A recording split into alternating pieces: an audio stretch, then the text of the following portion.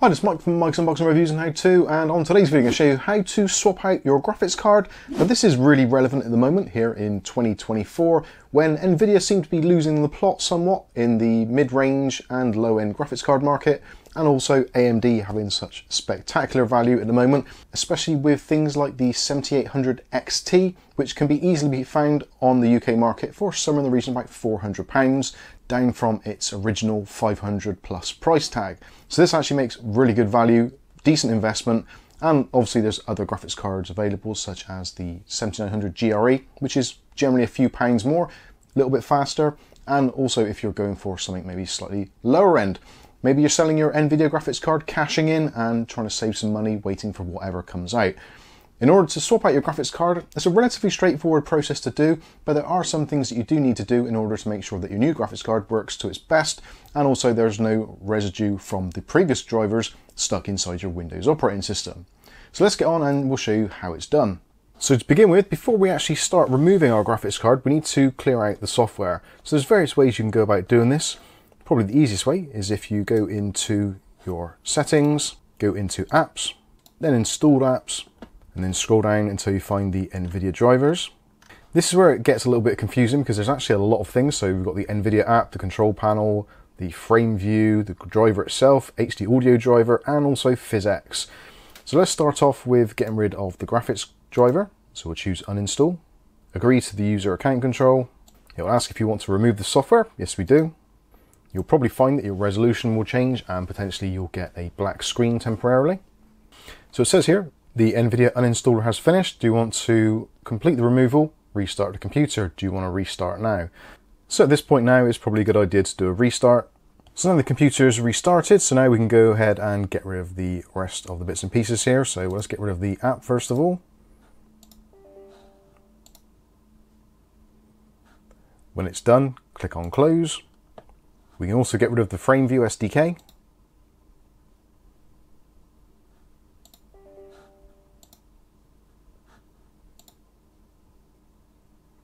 And when it's done, click close. We can also get rid of the audio driver.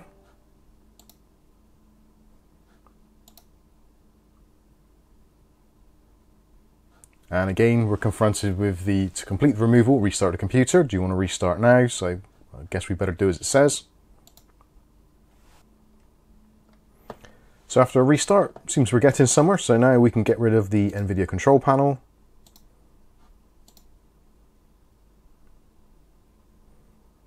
And finally, we'll get rid of the PhysX software.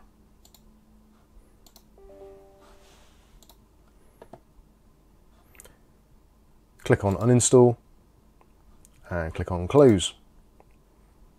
So in theory, that is all the NVIDIA software gone, so that should be it, you'd think. Let's take a look in Device Manager and see what Device Manager thinks about it. Now in order to see everything which Device Manager has still installed, or at least remnants of, we need to click on View, then Show Hidden Devices. Now we can go into our display adapters, and even though we've uninstalled our NVIDIA software, we've still got remnants of previous drivers. So we've got the AMD Radeon Graphics, which is onboard graphics for AMD processors. We've also got a graphics card which I installed ages ago, and I haven't used for a long, long time, the RTX 3070. And also we've still got an entry for the RTX 4070 Super because Windows being Windows tries to reinstall the drivers for you and uses a Microsoft driver. So how do we get rid of all this? Well, the easiest way of doing it is to use a program called DDU. So let's try and find that now. I'll put some links in the video description so it'll be much quicker for you. I'm going to get it from guru3d.com and you can choose where you want to get it from. There's two mirrors, there is a EU mirror and also a USA one, so I'm going to choose the EU. Doesn't really make a difference which one you do, they're both going to be the same. And you'll get a pop-up asking you where you want to save it. So let's save this to our Windows desktop. Once that's downloaded, you can close your browser and you'll get a zipped folder. Right click on this and we'll choose extract all.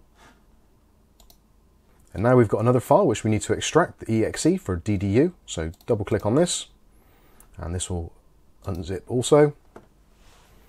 And finally we get our folder. So now we've got DDU and we've got the executable file here, the display driver uninstaller.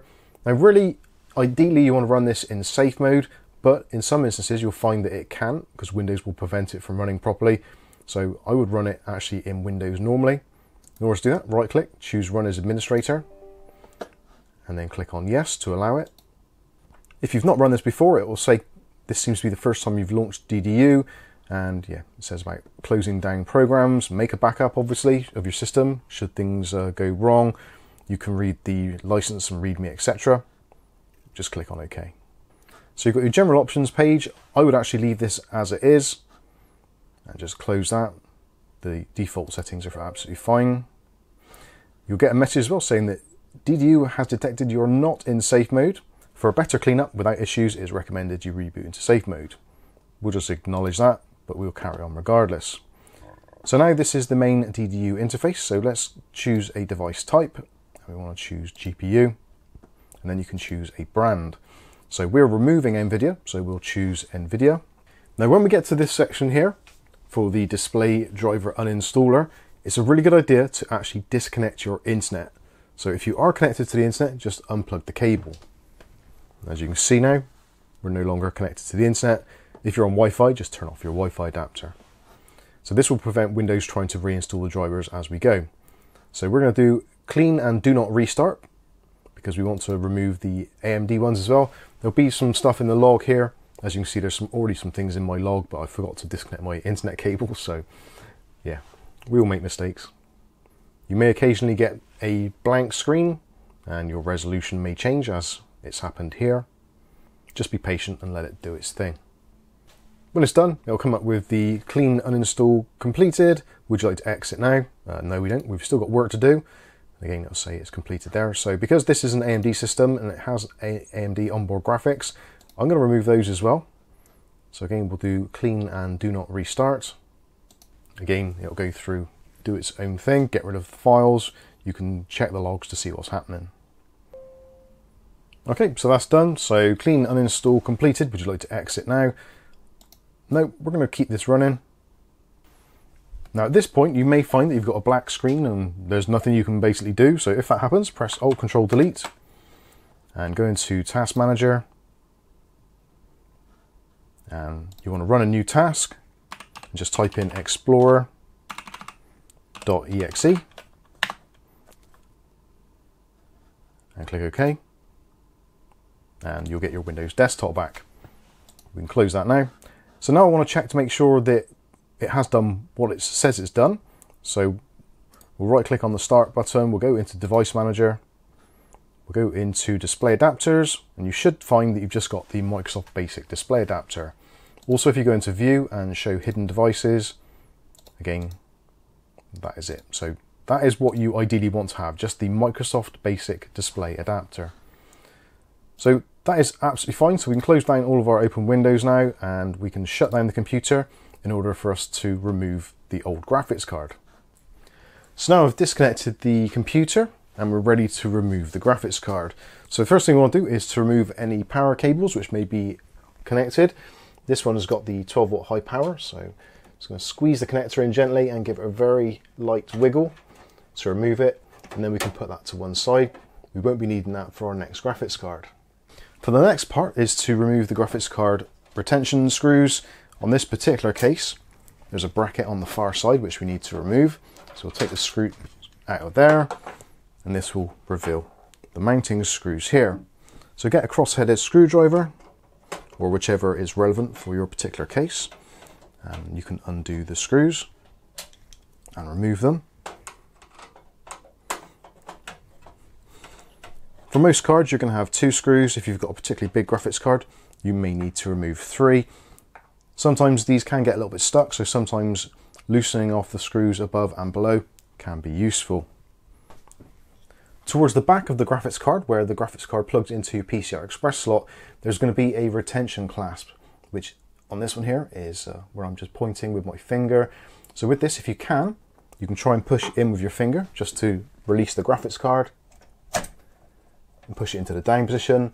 Then you can grab the graphics card and sometimes you can wiggle it out. Now this hasn't gone in fully, so make sure it is fully pushed down and then you should be able to remove the graphics card from the graphics card slot. Now reinstalling your graphics card is basically the reverse of what we already done. So just do make sure that your clasp is clicked into the fully back position. Then you can grab your graphics card from underneath, support your arm on the top of your case if you need to when you're leaning over, and try to line up this edge connector with your PCI Express slot and also making sure that lugs on the back fit in as well. And get things lined up and you should find with a, a reasonable push it'll click into place. You should also notice that the retention clasp has now moved forward and is snapped into place. Give it a little wiggle, make sure that it's all in. That looks good to me. So now we can connect up our power cables. So now we're ready to connect up our graphics card power. So I've routed through a cable.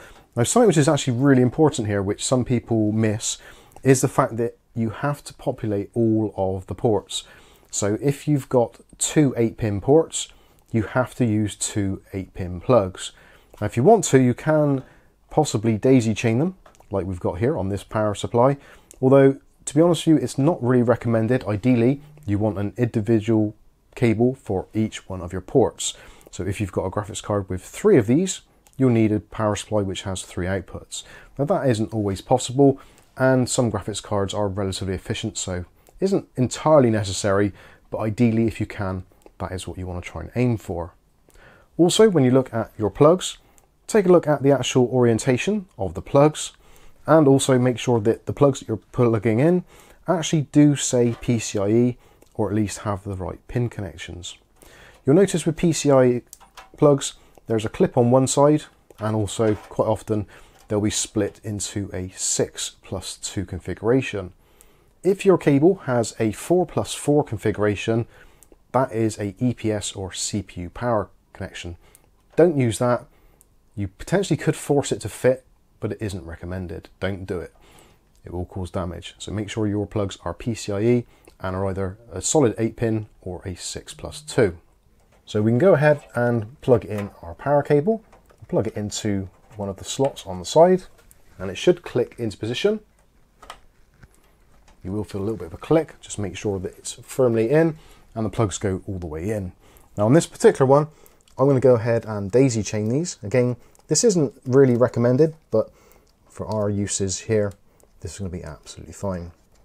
When it's in, it should click into position. Nice little click. And then if you want to, you can fold the cables over a little bit, just for cable management purposes. Don't put too much strain on them if you can help it. They're not as bad as the NVIDIA ones, the 12 volt high power. So they have got a little bit of flex to them. And if they're not long enough, you can always buy extensions. Just do make sure that all of the connections on the graphics card are connected and all of them are fully seated, go all the way in. So when you're finished, it should look a little something like this. Now we can make sure the graphics card is secured by reinserting the screws.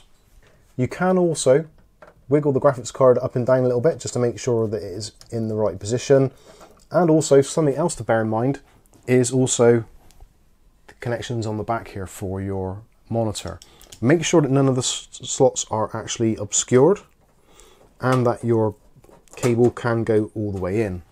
If for some reason these slots, which are actually normally quite high, actually this bar blocks your monitor cable going in, you won't get a display. So these are, uh, yeah, sometimes a little bit of a pain. In worst case scenario, you can actually remove that bar entirely, which is probably not recommended because it's damaging your case. But just make sure that those are low enough. And if need be, you can loosen off the screws a little bit and you can kind of force the graphics card to sag just a little bit, just so maybe you can get your HDMI port in. This isn't a problem on a majority of cases, but it can be, and it's something to bear in mind if for some reason when you plug it back in, you get no display. You can finish off by putting the last of the retaining screws onto your case, and that is pretty much it. So now we can go back over to the desk, connect up all of our monitors and our USB cables, and also our internet and then we can get our new drivers installed. Okay, so now we've restarted the computer and uh, we're back up and running. So our resolution is still not right. So what we're going to need to do is to head over and get the AMD drivers. So let's go to AMD and we'll go to resources and support. And then we want to go to Radeon graphics and AMD chipsets. So let's click on drivers I'll put links for this in the video description to make life a little bit easier for you. So at this point, you've got the Windows 10 11 drivers, or obviously Linux, we're on Windows. So we'll download the Windows drivers. This is the automatic install. So we'll just save this to our Windows desktop, and it's only a 44 megabyte file. So once that's done, we can close this window, find the installer, double click on it, you'll get the user account control come up again. So we'll click on yes, then we'll just follow through this. So click on install, this is going to extract some of the resources. It will start off by checking your PC's hardware for driver and software compatibility. Now, if you're on an AMD system, AMD motherboard, AMD processor, you will also get the opportunity now to install the new chipset drivers, which is beneficial. I would suggest definitely doing that, but just be patient, let it check your system and wait for it to continue. Okay, so it's found our graphics card, our AMD Radeon RX 7800 XT, and it's also suggesting a Adrenalin driver, 24.8.1. This is released 29th of August. And we'll look at the additional options. Now, if you want to, you can do a factory reset, which will reset all of the drivers totally. And you can choose a full install, minimal install, or driver only. So if you don't want the Adrenalin software, then you can choose driver only. Uh, but we're going to go with a, a, full install for this particular setup. You've got the option there to allow AMD to collect information. Um, no, don't really want to do that. And also you've got the option to help AMD improve, blah, blah, blah. Yeah, just uh, click on next. You've got privacy view. That'll skip unless you've got supported hardware. And the next one, because we have got an AMD setup, it's going to ask us to update all of our chipset drivers. So, yeah, this is well worth doing. So we'll click on install.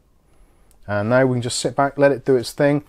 Try not to do anything on your computer at this point, so it's uh, a bad idea to be doing anything whilst the system is doing kind of system level changes like display drivers and chipset drivers.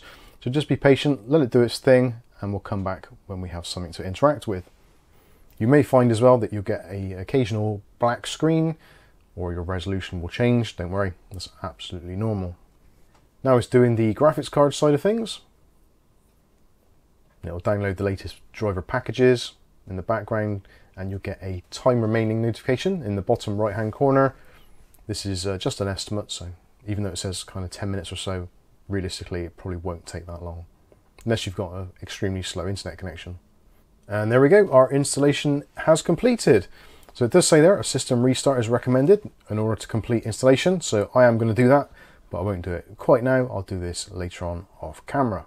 So there we go, some pretty straightforward things to do. Uh, it does take a little bit of time, it is a little time consuming, but certainly worth it if you're potentially going to be suffering from crashes or instability, stuttering, all those kinds of things, which can result from incorrect driver installation or just bad drivers. So hopefully this video has been useful to you. If it has, smash the like button. If you want to see more content like this on a daily basis, maybe consider hitting subscribe and then click on the chime notification. That way you'll be notified of all of our future video releases. But for now, I've been Mike. This is Mike's Unboxing Reviews and How To, and hopefully we'll catch you in the very next video. Thanks for watching.